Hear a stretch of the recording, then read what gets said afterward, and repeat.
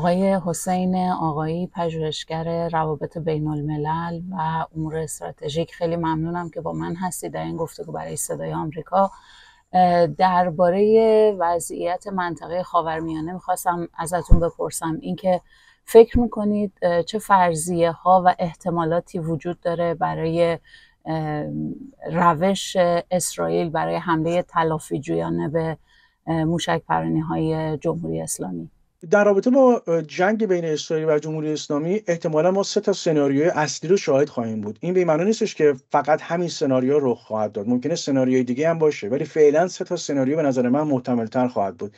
یکی سناریوی آرماگدون که این جنگ تمام ایار فراگیر در ابعاد بسیار بزرگ و خطرناک تو منطقه هستش با تبعات غیر قابل پیش بینی یعنی در این سناریو در سایه واکنش نظامی بزرگ و فراگیر اسرائیل در ایران جنگی بزرگ غیر قابل پیش بینی در خواهد گرفت که در نتیجه اون جمهوری اسلامی هم اقدام به بازی با ریسک بالا خواهد کرد. مثلا اسرائیل نه فقط تاسیسات اتمی تاسیسات نفتی و حتی سر مار رو در داخل ایران خواهد زد. ترورهای هدفمند خیلی مهم انجام خواهد داد و متعاقبا جمهوری اسلامی وارد مرحله تسلیحاتی برنامه اتمی خودش خواهد شد. به سمت ساخت بمب اتم خواهد رفت. و بعد آمریکا متعاقبا در کنار اسرائیل به تاسیسات اتمی جمهوری اسلامی حمله خواهد کرد و اون اثر نشتی که گفتم در محیط ب... منطقه‌ای به محیط بین‌المللی سرایت می‌کنه جنگ روسیه با اوکراین تشدید پیدا می‌کنه و حتی نبرد چین با تایوان. این یه سناریو است من فکر می‌کنم این سناریو خیلی محتمل نیست ولی 100 درصد هم نمیشه رد کرد. سناریوی دوم سناریوی اختاپوس هست که من فکر می‌کنم محتمل تر هست. اینم یعنی جنگ نسبتا بزرگ اما زیر آستانه جنگ تمام ایار منطقه‌ای و بین‌المللی. یک جنگی هستش که ادامه دار خواهد بود. در این سناریو اسرائیل دفعتا سر ما رو در ایران نخواهد زد. ولی ممکنه شرایطی به وجود بیاد که بسته به اتفاقاتی که در داخل ایران رخ بده در سایه واکنش نظامی اسرائیل اسرائیل در ادامه به اون سمت هم بره. مشخصا در این سناریو اسرائیل ترورهای هدفمندی رو انجام خواهد داد.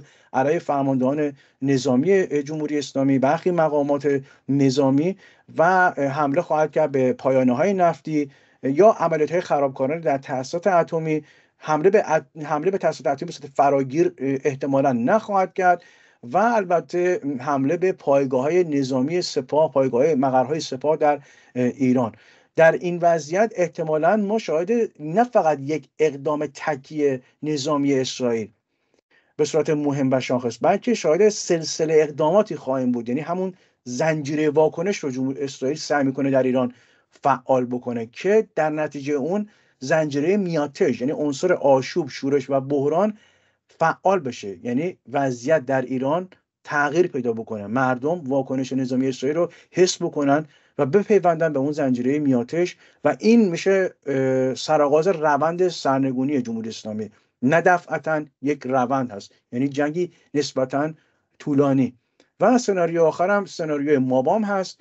یعنی جنگ محدود. یعنی این سناریوی توافق پشت پرده است. اسرائیل یک واکنش نظامی محدود نشون میده. جمهوری اسلامی هم یک واکنش نظامی خیلی محدود به اسرائیل نشون خواهد داد متناسب. یا اصلا واکنش نظامی نشون نخواهد داد. تحت فشار آمریکا قبل از انتخابات ریاست جمهوری آمریکا و دیگه همه چیز میره به سمت بعد از انتخابات ریاست جمهوری آمریکا در دوره ترامپ ممکنه اونجا دوباره زنجیره واکنش فعال بشه. من فکر می‌کنم که سناریوی دوم محتمل تر هستش.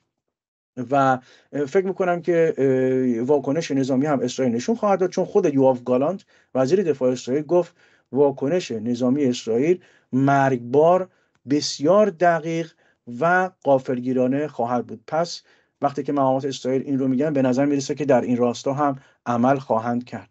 به نظر شما این پاسخگویی چقدر استراتژیکه برای اسرائیل؟ فکر می‌کنید که حتما این حمله رو انجام خواهد داد و فکر می‌کنید کم و کیفش چطور خواهد بود؟ در مقدمه ما این رو باید بدونیم که محیط امنیتی بین المللی الان در پیچیده ترین و خطرناکترین وضعیت خودش از زمان جنگ سرد به این سو قرار داره. خود منطقه خاورمیانه هم که حالا به حال بخش از این محیط امنیتی بین المللی هست همین وضعیت رو داره. منطقه واقعا روی انبار بارود قرار داره. و به نوعی ما شاهد پدیده فروپاشی بازدارندگی یا بحران بازدارندگی در منطقه خاورمیانه هستیم. یعنی نه آمریکا نه روسیه چین. هیچ کدوم نمی‌تونن باعث ممانعت از بروز درگیری ها بشن آمریکا نمی‌تونه جلوی اسرائیل رو بگیره. حتی جلوی جمهوری اسلامی هم نمی‌تونه بگیره. بنابراین این باعث میشه که احتمال تشدید تنش بیشتر بشه و البته به نظر من آنچه که ما الان داریم می‌بینیم یعنی این نبرد اسرائیل و جمهوری اسلامی آخرین پرده از جدال سرنوشت ساز اسرائیل و جمهوری اسلامی برای پیروزی در معادله بازدارندگی نوین خاورمیانه است. یعنی هر کدوم می‌خوان این معادله بازدارندگی رو به نفع خودشون تموم بکنن و خاطر همین قواعد جدید باز قواعد بازی جدیدی به نظر می‌رسه که لازم هست تو منطقه شکل بگیره. و این چه ارتباط داره به واکنش اسرائیل؟ به این خاطر که الان اسرائیل هم بخشی از این رقابت برای معادله بازدارندگی هست و اتفاقا اسرائیل می‌خواد بازدارندگی خودش رو بعد از اون واقعه حمله تروریستی هفتم اکتبر در برابر جمهوری اسلامی نه فقط تامین بکنه تثبیت بکنه. در دراز مدت. من فکر می‌کنم که اسرائیل واکنش نظامی خودش رو به احتمال قریب به یقین نشون خواهد داد به جمهوری اسلامی ولی خب ابعادش زمانش مشخص نیست. مشخصا به سه دلیل این کار را انجام خواهد داد. اول به این خاطر که خود اسرائیل و جمهوری اسلامی به طور مستقیم از جنگ در منطقه خاکستری اومدن بیرون بعد از هفتم اکتبر رو در رو دارن میجنگن در مد و در روشنایی. و این چرخه زد و خورد این زنجیره واکنشی که من مطرح کردم باعث شده که اینا کاملا رو در رو با هم دیگه بجنگن و ادامه وضع موجود. برای هیچ کدوم از طرفین امکان پذیر نیست در میان مدت و دراز مدت.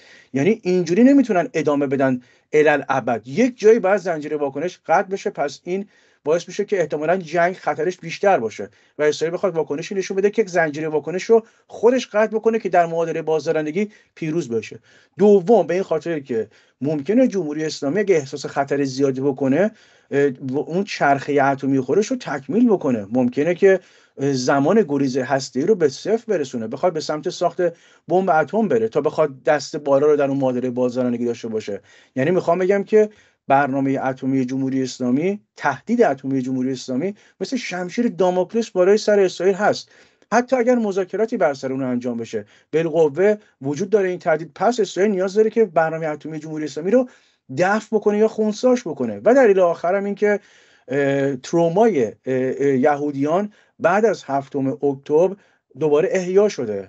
خودشون میگن که این حمله هفتم اکتبر بزرگترین ترومای یهودیان بعد از واقعه هولوکاست هست و اسرائیل به دنبال تضمین بازدارندگی و بقای خودش هستش و به خاطر همین با توجه به تغییراتی که در دکترین امنیتی و نظامی اسرائیل ایجاد شده که من در مقاله‌ای در کیهان لندن بهش اشاره کردم این باعث میشه که اسرائیل یک بار برای همیشه یا جمهوری اسلامی رو بخواد به صورت حداکثری تضعیف بکنه یا عملا روند سرنگونیش رو کلید بزنه. چند روز پیش اخباری منتشر شد مبنی بر درز اطلاعات مربوط به برنامه‌ریزی های اسرائیل برای این حمله و پاسخگویی.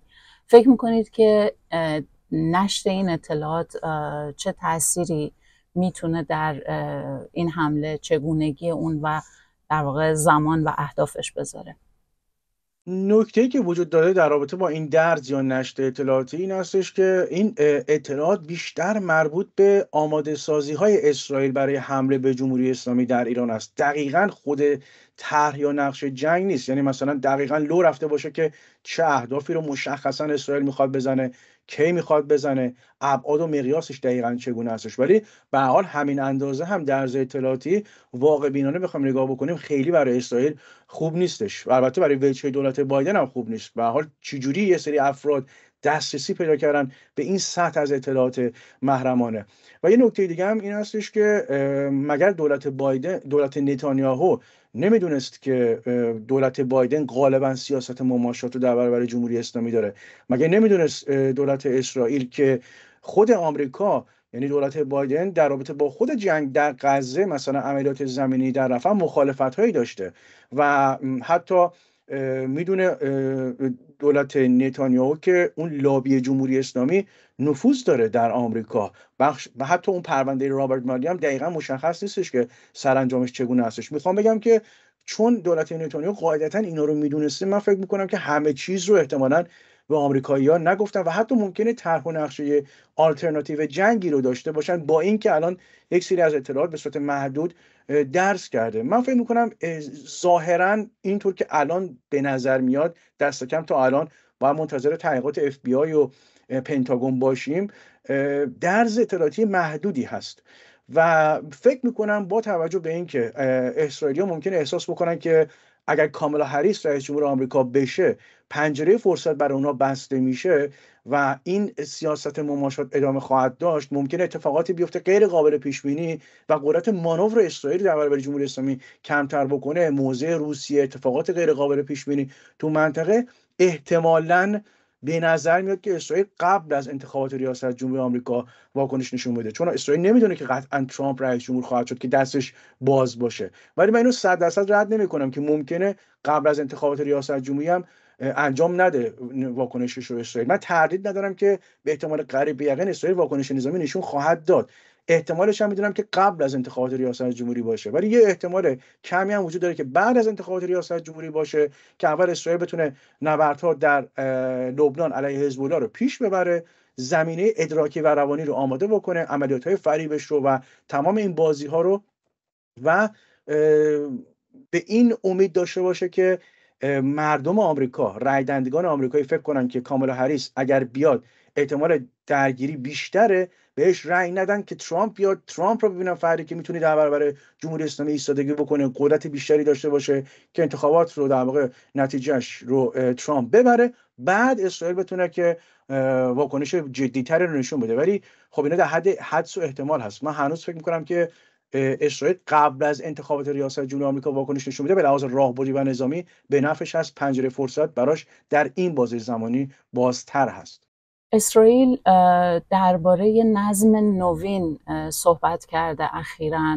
ما در روند چند سال گذشته مسائلی مثل توافقات ابراهیم رو داشتیم. صحبت هایی هست مبنی بر پیمان کوروش که بعدها بخواد در واقع بین ایران و اسرائیل انجام بشه و الان بحث نظم نوین در منطقه رو مطرح کردن. تحلیل شما چیست؟ فکر می‌کنید که اسرائیل چی می‌خواد از این نظم نوینی که مطرحش کرده؟ ببینید من در اون مقدمه بحثم اشاره کردم به اون بحران بازدارندگی یا فروپاشی بازدارندگی در منطقه خاورمیانه که اتفاقا حمله تروریستی هفتم اکتبر به اسرائیل نشون دادش که یک مقطعی براش در حال حاضر پیش میاد که خود اسرائیل بازدارندگیشو به خاطر این حمله تروریستی از دست میده. و آمریکا هم به حال در رابطه با ها مثلا حملاتشون اون اقدامی که شاید باید لازم بوده انجام نداده و اسرائیل هم به نوعی آمریکا رو مقصر می‌دونه که نمی‌تونه در برابر یا نمی‌خواد در برابر جمهوری اسلامی و اون به اصطلاح محور مقاومت جوری رفتار بکنه که بازدارندگی حداکثری تو منطقه به وجود بیاد. پس این خطر رو احساس می‌کنه اسرائیل. و به خاطر همین می‌خواد قواعد بازی جدیدی تو منطقه خاورمیانه خلق بکنه. یعنی به عبارت ساده به نظر من اسرائیل می‌خواد اکوسیستم امنیتی مطلوب خودش در خاورمیانه رو ایجاد بکنه. و این اکوسیستم امنیتی مطلوبش رو از طریق به نظر من حتی شده محدود می‌خواد ایجاد بکنه. و مقامات اسرائیل از جمله خود نتانیاهو نخست وزیر اسرائیل یواف گالانت وزیر دفاع اسرائیل و هرچی هالبی رئیس ستاد کل ارتش اسرائیل اینا واژه های جدیدی رو به کار می‌برن که اینا معنا داره. یعنی نظم نوین پیروزی قاطع و به نوعی میشه گفتش که بحث در رابطه با بازدارندگی هایی که مطرح می‌کنن. یعنی به نظر می‌رسه که من به این نتیجه رسیدم که اساسا اسرائیلیا با ذهنیت جنگ تمام ایار برای پیروزی قاطع جهت ایجاد نظم نوین دارن میجنگن. و جنگ اسرائیل یک جنگ بزرگ هست با جمهوری اسلامی و می‌خوان که اون نظم امنیتی رو خلق بکنن و این نظم امنیتی رو باید یا از طریق قاعدتا بر اساس قاعده بازی این نظم نوین امنیتی فقط و فقط زمانی ایجاد میشه که جمهوری اسلامی یا به صورت حداکثری تضعیف بشه یعنی جمهوری اسلامی عقیم و اخته بشه نه فقط در بعد اون مداخلات منطقهش نه فقط در بعد اتمی. در بعد اتمی موشکهای بالستیک پهبادی تروریسم منطقه‌ای مداخلات منطقه‌ای همه اینها که اینم نیازمند اقدام نظامی ادامه دار هست علیه جمهوری اسلامی. و این مسئله اتمی بسیار مهمه که اسرائیل می‌خواد اینو خونساش بکنه. و نکته دیگه این هستش که یا باید جمهوری اسلامی رو ببرن به سمتی که انقدر فشار روش بیارن که به سمت سرنگونی بره به دست مردم. حالا این معمای راهبردی بزرگ اسرائیله که دقیقا هدف نهایی راهبردی اسرائیل در برابر جمهوری اسلامی برای خلق نظمی نوین تو منطقه چی هست؟ من استدلالم این هستش که نه اینکه این امیال شخصی خودم رو بخوام بیان بکنم بر اساس یک نگاه کاملا واقع بینانه نگاه رئالیستی از دریچه اسرائیل به وقایع نگاه کردن. اسرائیل فقط و فقط زمانی می‌تونه نسبت به بقای خودش در میان مدت و دراز مدت مطمئن باشه که جمهوری اسلامی به نظر من به سمت روند سرنگونی سوق داده بشه. از طریق انجام یک واکنش نظامی شاخص و مهم که فقط این تک اقدام نظامی نباشه سلسله اقداماتی رو در داخل ایران اسرائیل به لحاظ اطلاعاتی و نظامی انجام بده. اگر این کار رو بکنه اگر بخواد این کار رو انجام بده و ملاحظات دیگه باید در نظر گرفت برای اینکه بره به سمت سرنگونی جمهوری اسلامی. نه اینکه اسرائیل جمهوری اسلامی رو به خاطر مردم ایران سرنگون کنه برای منافع خودش برای تضمین بقای خودش در میان و دراز مدت. ولی این گزینه هم نمیشه 100 درصد رد کرد که ممکنه به تضعیف حد اکثر جمهوری اسلامی بسنده بکنه. ولی اون معادله پیچیده تریه برای جمهوری برای اسرائیل.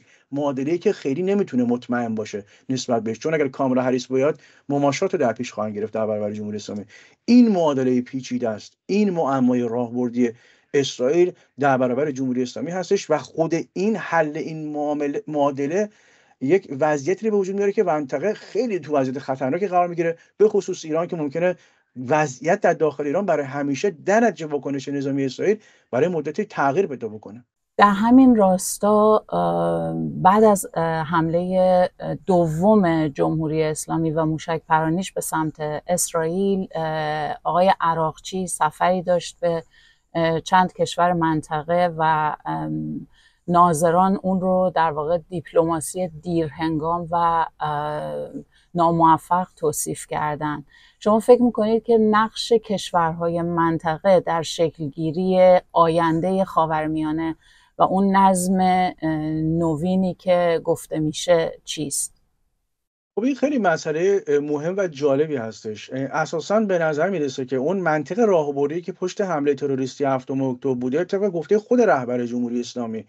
این بوده که اسرائیل اسب بازنده منطقه خاورمیانه هستش و اساسا وقتی که حمله هفتم اکتبر رخ میده انتظار جمهوری اسلامی که دقیقا اشتباه محاسباتی جمهوری اسلامی بود این بود که این حمله انجام بشه. در نتیجه تبعاتی که خواهد داشت و افکار عمومی در جهان حتی در میان کشورهای منطقه عربستان امارات این کشورهایی که اون توافقات ابراهیم رو بهش پیوستن اینا منصرف میشن روابطشون رو با اسرائیل یا قطع می‌کنن یا کاهش میدن.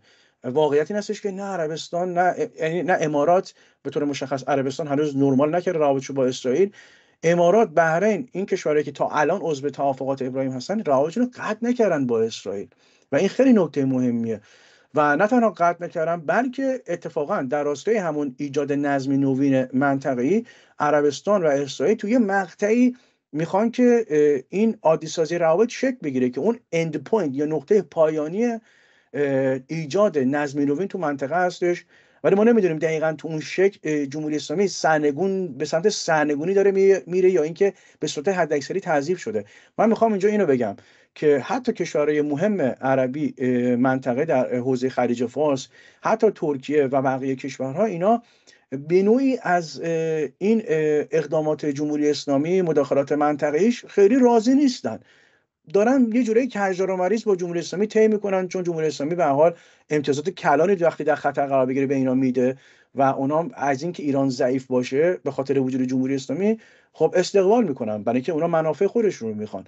ولی به حال این ادامه دار شده. من فکر می‌کنم که حتی کشورهای عربی هم موافقه این هستن که شاید اسرائیل یک واکنش رو نیاز داره که به جمهوری اسلامی نشون بده که در نتیجه اون حداقل حتی اگر ایدئال اسرائیل به وجود نیاد یعنی هدایت کردن جمهوری اسلامی به مسیر سرنگونی در طی یک روندی نه اینکه دفعتا در طی یک روندی حداقل جمهوری اسلامی بشه به صورت حداکثری تضعیف بشه. بنابراین من فکر می‌کنم که این کشورهای منطقه به نوعی دیدن واقعیت ها رو مثلا عربستان حملاتی به آرامکو رو دید و خود امارات در ژانویه 2020 شاهد حملات حوسی ها بود.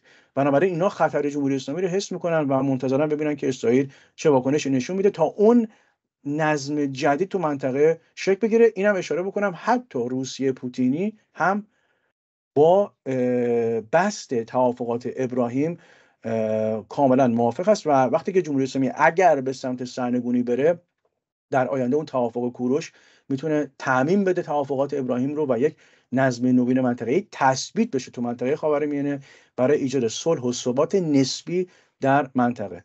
همزمان با این مناقشاتی که در خاورمیانه در جریان بین اسرائیل، جمهوری اسلامی و نیروهای نیابتی جمهوری اسلامی در بیش از یک سال گذشته خب ما پیش از اون هم جنگ روسیه و اوکراین رو داشتیم که همچنان ادامه داره و درگیری هایی که بین چین و تایوان وجود داره. به نظر شما اساسا این مناقشات رو آیا میشه در یک چارچوب دید؟ و اینکه فکر می‌کنید نقش آمریکا در بازدارندگی گسترش مناقشات و همینطور اصلا بیایم بگیم حل این مناقشات در اون منطقه چیست؟ باز همین رب پیدا می‌کنه به بحران بازدارندگی. یکی از دلایل اصلی آنچه که ما داریم می‌بینیم در منطقه خاورمیانه این بحران این آشوب و البته در فرامنطقه‌ای در رابطه با جنگ روسیه و اوکراین به خاطر اینکه آمریکا نمی‌تونه بازدارندگی رو یا نمی‌خواد بازدارندگیش رو تثبیت بکنه تو منطقه که اینا نتونن وارد جنگ های حتی محدود بشن و حتی فراگیرتر. و این خطر خیلی خیلی بالاست که ممکنه ما توی وضعیتی اگر این جرقه جنگ تو منطقه خاورمیانه زده که شده یعنی آتش شعله برتر بشه بین اسرائیل و جمهوری اسلامی ممکنه ما شاهد اثر سرایت یا نشت یک درگیری در یک حوزه مشخص به درگیری ها در حوزه دیگر باشیم. یعنی ممکنه که همزمان یا به صورت متوالی در یک مقطعی جنگ روسیه و اوکراین شدت بیشتری بگیره وقتی که آتش جنگ در خاورمیانه شعله برتر بشه. یا حتی چین در برابر تایوان. چون الان هم اونجا در بود جنگ روسیه و اوکراین ما شاهد تهدید خیلی زیاد پوتین هستیم. تهدید اتمی می‌کنه علنا و رسما پوتین در این مقطع زمانی. و از اون طرف در منطقه هندو پاسیفیک هم ما داریم می‌بینیم که چینی ها کشتی های رو در اون آبهای دریای جنوبی چین مورد آزار و اذیت قرار میدن فیلیپین رو تحریک می‌کنن وضعیت اونجا هم خیلی خطرناکه. و می‌خوام بگم که هر لحظه ممکنه که این حوزه های درگیری نه اینکه دقیقا با هم ادغام بشن ولی شاهد یک نوع جنگ بزرگ در ابعاد بین المللی باشیم. یک جنگ جامع و کامل در ابعاد بین المللی که واقعا وضعیت منطقه رو نه فقط بلکه در ابعاد بین المللی با خطرات بسیار بسیار روبرو بکنه. اینجاست که باز هم نقش آمریکا مهمه و اینجاست که نقش رئیس جمهور آمریکا بسیار بسیار کلیدی است. اگر کاملا هریس رئیس جمهور بشه به نظر من ما ادامه این همین وضعیت موجود رو خواهیم دید. چون کاملا هریس دقیقا دنبال روی سیاست های بایدن هست. و نمی‌تونه وضعیت رو جدید بکنه برای چین و روسیه که اونا عقب نشینی بکنن یا احساس خطر بکنن. چون می‌بینن که وضع موجود ادامه پیدا خواهد کرد. همین وضعیتی که در دوران بایدن هست. فقط زمانی ممکنه وضع موجود رو احساس بکنن که عوض میشه که ترامپ رئیس جمهور بیاد. من رو لزوما به خاطر حمایت از یک رئیس جمهور نمیگم یا گرایش سیاسی. چون ترامپ گفته که به حال مواضع سفت و سختری رو به نظر من در پیش خواهد گرفت در برابر جمهوری اسلامی و ممکنه که در برابر روسیه وارد فاز مذاکره باشه و اجازه بده به اسرائیل که دستش باز باشه در برابر جمهوری اسلامی واکنش نشون بده و تمایل داشته باشه دولت ترامپ که تهدیدهای خیلی جدیتری رو علیه جمهوری اسلامی متوجه بکنه که بایدن نمی‌کنه که اون درگیری ها اثر سراحت و نشت پیدا نکنه. به در برابر اینکه چین بخواد اقدامی انجام بده یا روسیه در برابر اوکراین خطرناکتر. و این باعث میشه که اون بازدارندگی شاید در دوران ترامپ بهتر تثبیت بشه. به خاطر همین نقش آمریکا بسیار بسیار کلیدی و محوری هستش. همین الان هم در جنگ بین اسرائیل و جمهوری اسلامی این نقش آمریکا بسیار کلیدی است. بخشی از اونجایی که ما می‌بینیم به خاطر ناکامی دولت بایدن هست.